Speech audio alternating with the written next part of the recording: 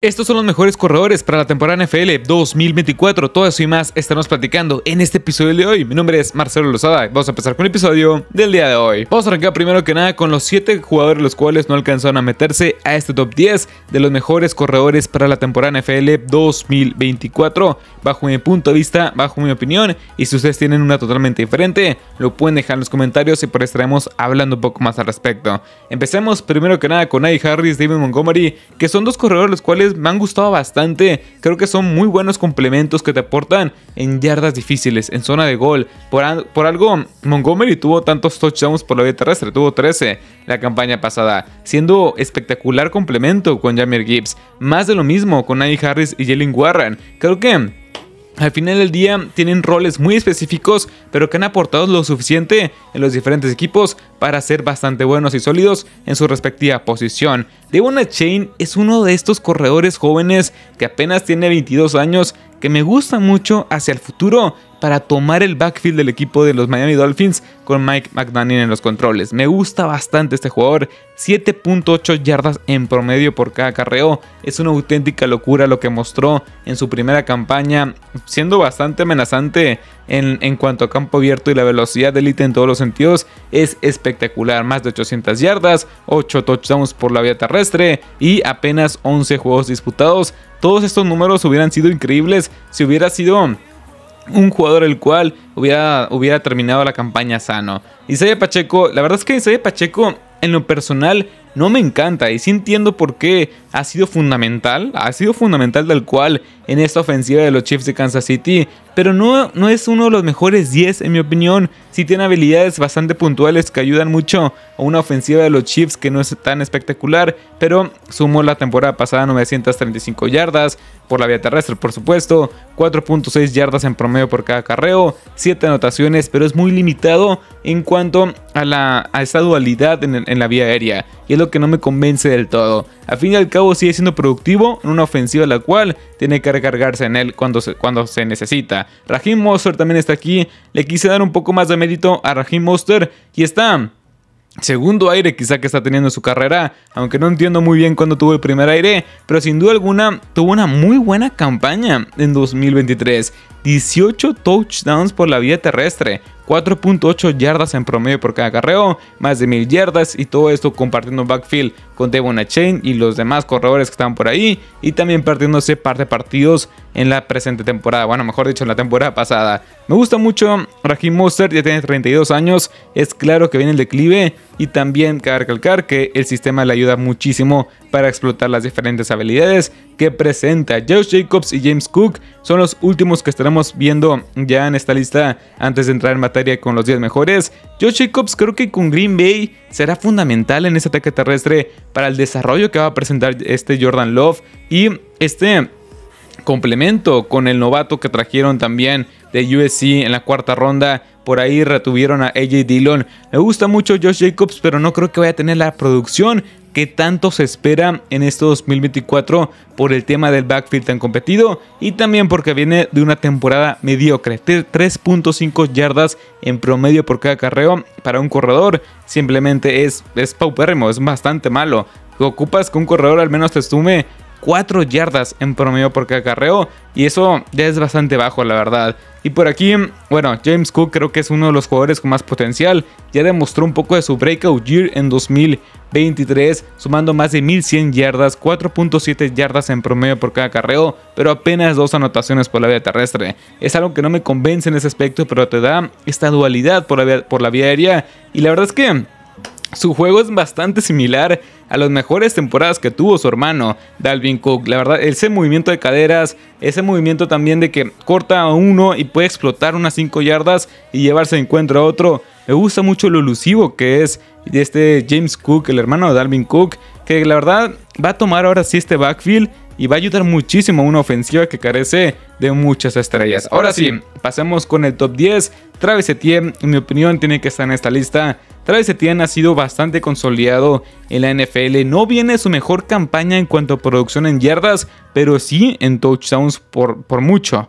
Y eso que apenas lleva dos, por supuesto. 11 anotaciones por leve terrestre, 3.8 yardas en promedio por cada carreo, que es bastante, bastante malo, mediocre mejor dicho, más de mil yardas, poco más de mil yardas por vía terrestre y te aporta mucho por la vía aérea, 316 yardas por esta, perdón, 476 yardas por la vía aérea. Es algo que sí me gusta bastante que los corredores se vean involucrados en el ataque aéreo. La campaña 2022, que fue su segunda temporada en la NFL en la cual estuvo 100% sano, porque, porque recordemos que en su primera temporada, bueno, se perdió toda, tal cual toda por una lesión en el pie. Bueno, en este 2022 superó las 1100 yardas, 5 anotaciones por la vía terrestre y cerca de 5 yardas en 5.1 yardas en promedio por cada carreo, siendo fundamental una ofensiva la cual tampoco tenía muchas piezas alrededor en la, en la, en la temporada 2023, donde Calvin Ridley no surgió como esperábamos y donde Trevor Lawrence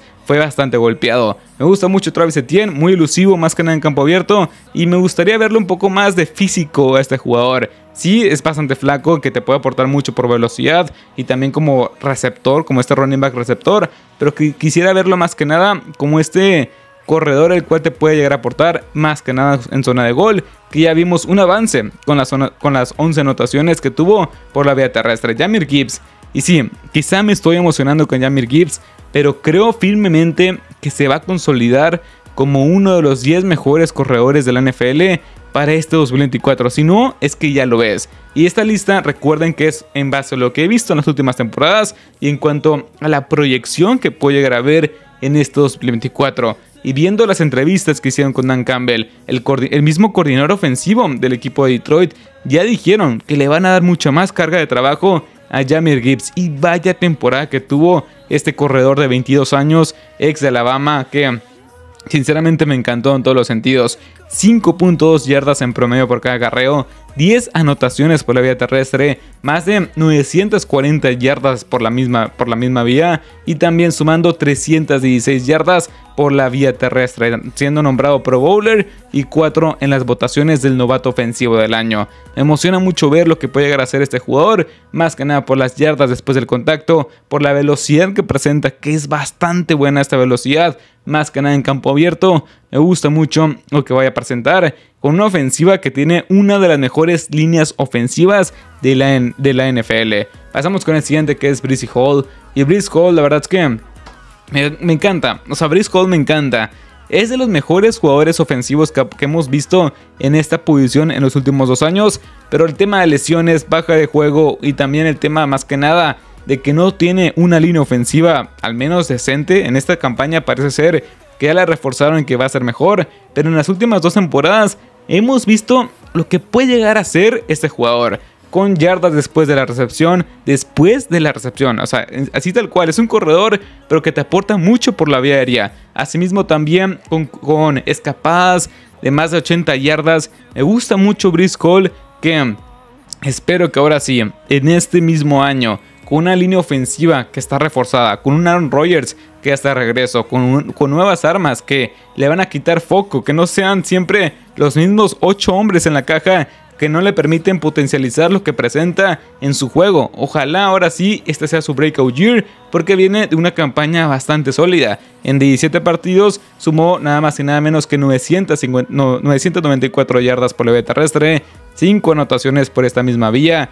aportando 591 yardas por la vía aérea y 4 anotaciones más. Simplemente una locura, también 7.8 yardas en promedio por cada recepción que también es un número bastante impresionante para lo que presenta Brice Hall. Me gusta mucho este jugador, que ojalá este sea su breakout year, porque en serio su nivel de juego es bastante superlativo. Kyren Williams, y pocos están hablando de Kyren Williams y cómo puede ser este gran elemento en una de las mejores ofensivas de la NFL. Tienes a Cooper Cup, Pukanakua, Matthew Stafford y también por ahí Tutu Atwell, una línea ofensiva que también se reforzó pero Kyren Williams está en este backfield completamente solo. Bueno, detrás de él tienes a Blake Corum, pero demostró muchas grandes cosas la pasada temporada. Segundo equipo All Pro, segundo equipo All Pro en 2023. Poco se habla de la calidad que mostró este jugador, sumando nada más y nada menos que 1144 yardas por la vía terrestre, 5 yardas en promedio por cada carreo, 12 touchdowns por la vía terrestre todo esto en 12 partidos disputados. Imagínense, si hubiera podido terminar la campaña, hubiera terminado con números o sea, bestiales, bestiales tal cual. Y muchos dirán, es que trajeron a Blake Corum, ahora sí le van a quitar un poco más de, snaps y todo esto. Creo que Blake Corum lo van a usar más que nada en situaciones muy específicas y a lo mejor más que nada de pase porque Karen Williams no aportó mucho por la vía aérea,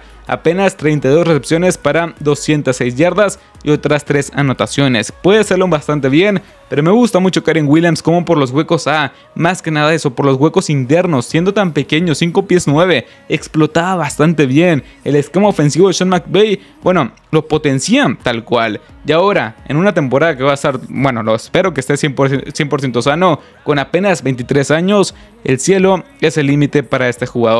Pasamos con Villan Robinson en el puesto 6. Y la verdad es que es de los jugadores overall, tal cual ofensivos, que más potencial tiene. Se va Arthur Smith, se va Desmond Reader, llega Kirk Cousins, llega un nuevo coordinador ofensivo y slash head coach. Bueno, no, perdón, nuevo coordinador ofensivo que ojalá pueda trascender en esta, en esta con estas piezas que ya tienes con Villan Robinson, por ejemplo. Un Villan Robinson que mostró demasiadas cosas buenas, pero que Arthur Smith lo tenía encadenado. Y ahora sí, pueden liberar a la bestia y tener una auténtica locura de temporada que demostró muy buenas cosas. La verdad es que demostró grandes cosas con yardas, con producción, una ofensiva que era terrible en muchos aspectos, que era una ofensiva la cual tenía muy buenos elementos pero corebacks mediocres y la temporada pasada que fue su primera campaña en la NFL sumó 214 acarreos para 976 yardas, 4 anotaciones por la vía terrestre,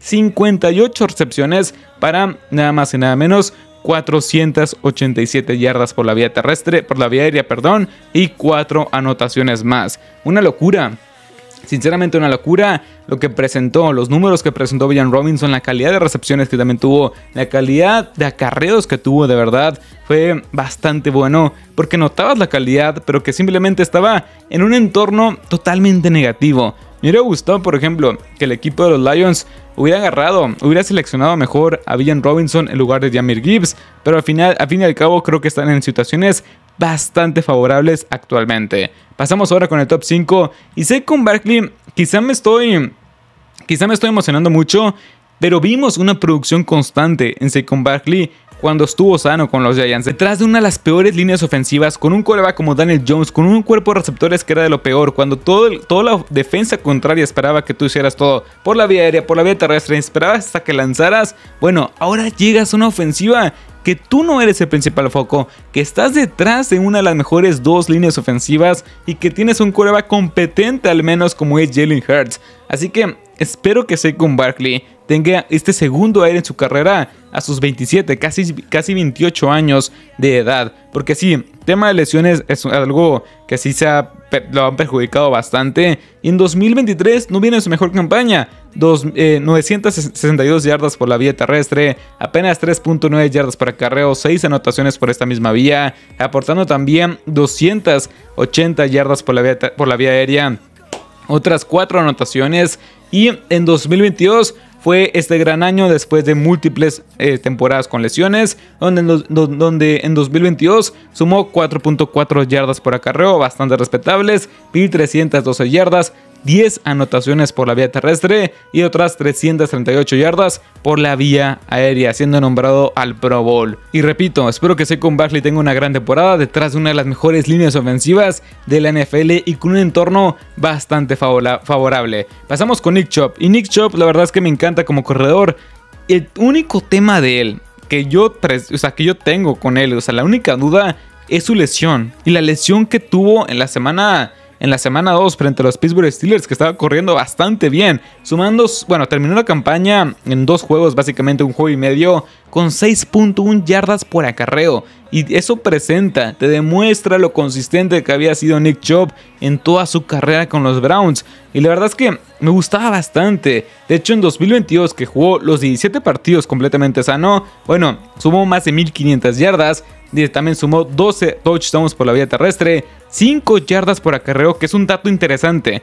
Nunca ha tenido menos de 5 yardas por acarreo en toda, su en toda su carrera. En ninguna de sus temporadas ha, tenido, ha producido menos de 5 yardas por acarreo, lo cual es una auténtica locura. No aporta mucho por la vía terrestre, pero al fin y al cabo es una locura lo que presentaba este jugador. La explosividad, la fuerza, esta combinación. Para mí, en mi opinión, si no hubiera tenido esta lesión tan grave que tuvo que contra los Pittsburgh Steelers, estaría actualmente como el mejor corredor puro de la NFL. Creo que por encima de Christian McCaffrey porque la verdad es que presenta el nivel élite en todos los aspectos. Segundo equipo el Pro y Pro Bowler en 2022, teniendo, teniendo la producción constante, casi nunca se lesiona, corridas fuertes, físicas y también versátiles. Y la verdad es que es toda la combinación de elementos que te encantan en un corredor. Pero después de esta lesión espero que regrese, no sé si mejor que nunca, porque ha tenido varias lesiones importantes en la misma pierna y muy similares en cuanto a ACLs, así que veremos cómo se recupera, pero actualmente hasta no, ver, no creer, hasta no ver que estamos viendo un declive de Nick Chubb, no puedo ponerlo fuera del top 5 porque sin duda alguna es uno de los mejores en su posición. Pasemos ahora con Jonathan Taylor y muchos están olvidando de, Jonathan Taylor. Sí, todos se acuerdan en 2021 cuando fue primer equipo el Pro, Pro Bowler, más de 1800 yardas por la vía terrestre, también presenciando o acumulando 360 yardas por la vía aérea.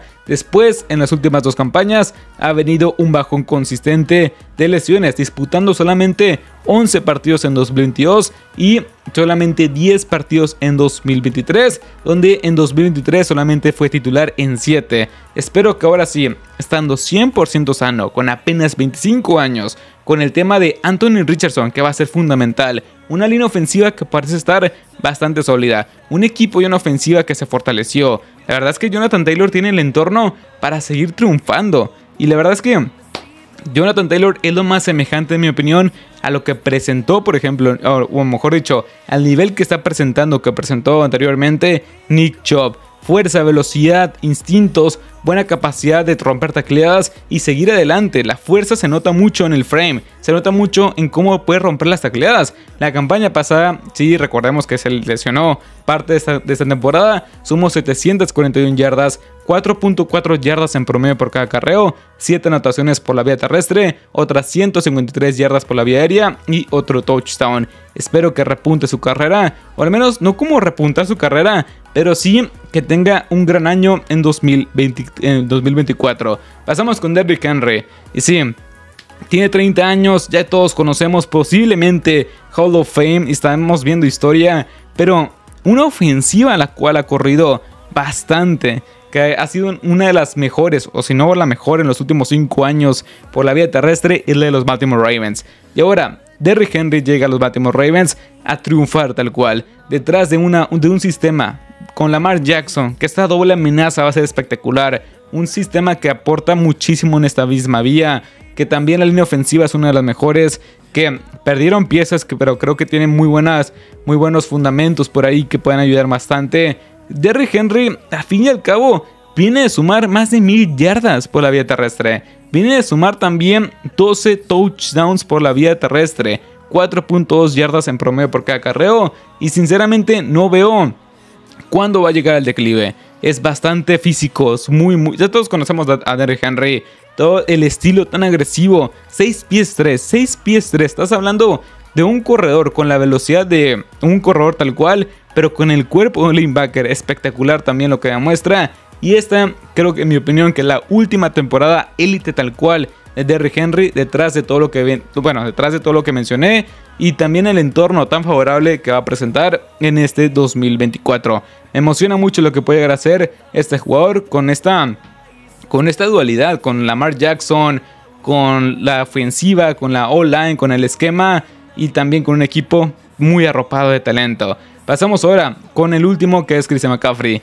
Y aquí no hay ninguna duda, el nuevo millonario de la NFL que le dieron una extensión de contrato muy bien merecida con 19 millones en promedio anual, pero viene de la mejor temporada de, la NFL para un corredor. Primer equipo el Pro, tercero en las votaciones del MVP. También fue convocado el Pro Bowler, más de 1400 yardas por la vía terrestre, fue número uno en ese rubro. 14 touchdowns por la vía terrestre y en promedio 5.4 yardas en promedio por cada carreo, que es una auténtica locura. Más de 500 yardas por la vía aérea, 8.4 yardas en promedio por cada recepción y 7 anotaciones más. 21 touchdowns, estás hablando de 21 anotaciones totales y 2033 yardas de scrimmage, simplemente el corredor más dominante actualmente de la NFL.